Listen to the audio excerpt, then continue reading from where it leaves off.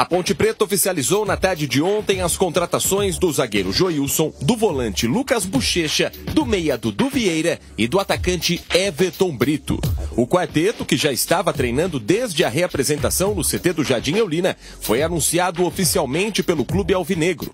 Entre os reforços, o experiente Joilson, de 34 anos, revelado pelo Criciúma e que estava no Água Santa nesse início de temporada. O atleta também fez parte do elenco da Chapecoense, campeão da Série B em 2020. Ainda de olho na segunda divisão nacional, a diretoria da Macaca acertou com mais dois reforços para a sequência desse ano. O primeiro é Matheus Regis. O atacante, que também interessava ao CRB, chega ao majestoso por empréstimo junto ao São Bernardo até o final da temporada. O outro nome é o goleiro William Arthur, vindo do Santa Cruz. O atleta está em Campinas e já foi aprovado nos exames médicos. William fecha contrato para defender a macaca também até o final da Série B. Por meio de nota, a diretoria alvinegra também afirmou que ao longo dessa semana outros jogadores chegarão ao majestoso. A expectativa fica por conta do lateral esquerdo Zé Mário, ex-internacional de Limeira, e de um meio-campista amador para dividir a responsabilidade com Elvis.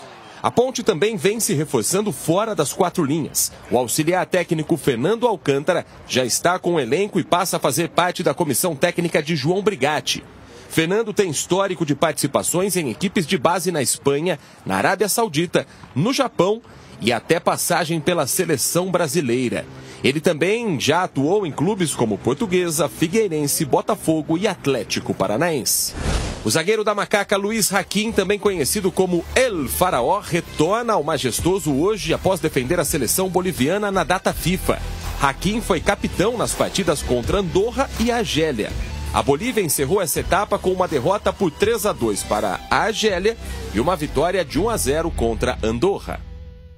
Bom, até agora a Ponte anunciou cinco reforços: Joilson, zagueiro, Dudu Vieira, volante, Lucas Bochecha, volante, Everton Brito, atacante e Vinícius, atacante.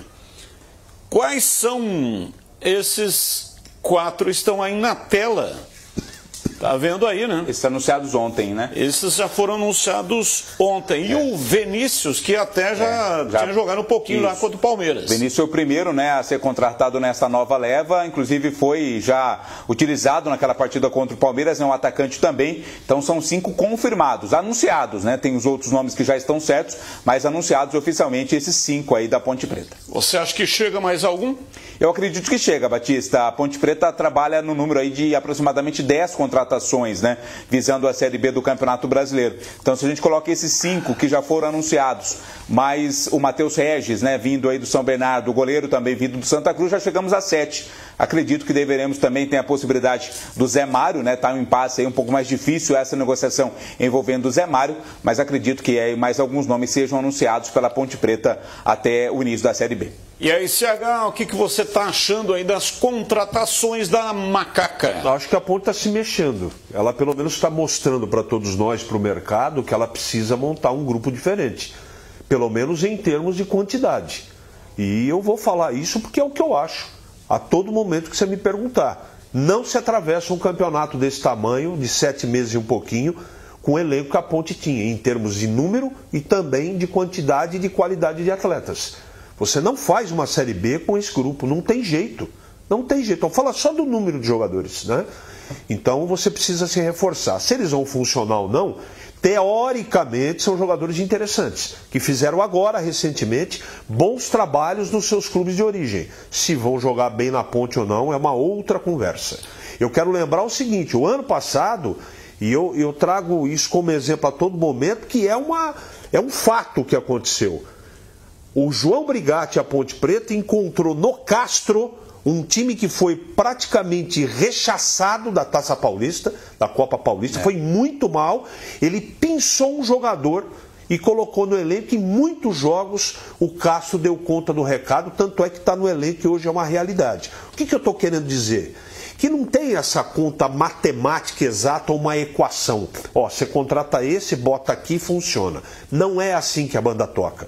Então a Ponte decidiu manter uma base, e parece até que o Gé vai, vai, vai continuar, né, Batista? A tendência é. Né? É a tendência. É, parece que, que Pelo vai. menos então, começo de campeonato. Apesar dos jogadores que foram perdidos, né, essa, essa garotada que saiu também no meio do Campeonato Paulista, e a Ponte precisava dar grana para poder atravessar o Campeonato Paulista.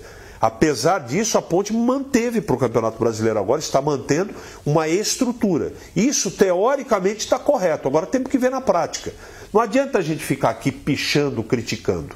Tem que deixar o João trabalhar. Se ele conseguir com essas peças, eu também tenho informação que outros jogadores vão chegar, ele consegue construir aí uma situação de competição, de coisa de.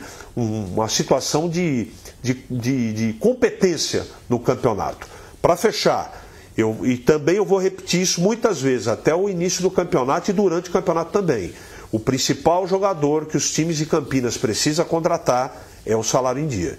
Se você tem uma tranquilidade na estrutura para tocar o, o dia a dia, fica diferente, fica mais fácil. Então vamos ver como é que os clubes de Campinas vão se organizar na parte financeira. Claro que é na base da teoria, né, Batista? Está muito cedo ainda, mas são jogadores de qualidade, né? Jogadores que apresentaram é, bom futebol nos, nos, nos, clubes onde estavam. O caso dos jogadores vindos da Inter de Limeira, a Inter, por exemplo, se classificou também para as quartas de final. O próprio Dudu Vieira, né? O Santo André foi rebaixado, mas ele é um jogador de muita qualidade. Já passou por outras equipes também, Chapecoense, sempre um jogador muito requisitado. Então são jogadores que chegam com esse, com esse aval, né? De, de jogadores de qualidade. Claro que concordo totalmente com o CH, não é uma fórmula exata. Pode ser que aqui não dê certo, né? Não consigam render aquilo que renderam em outras equipes, mas na base da teoria, na base dos nomes, são bons reforços que a Ponte Preta tem contratado. O próprio Matheus Regis não foi anunciado oficialmente ainda, jogador que interessava ao CRB, também de muita qualidade, ou seja, no nome